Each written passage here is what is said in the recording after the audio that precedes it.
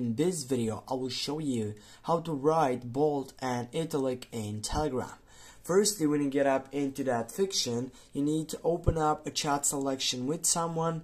I will go and getting up on that side. Yeah. And right now, if you go on that settings side section and you type, for example, Cristiano,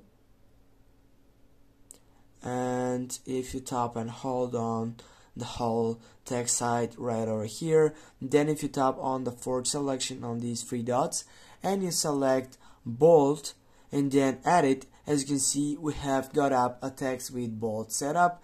And also now I will go with Ronaldo.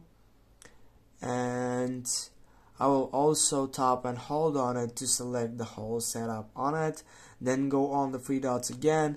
And now go for italic and yes, go send it. And now with this we have wrote bold and italic in telegram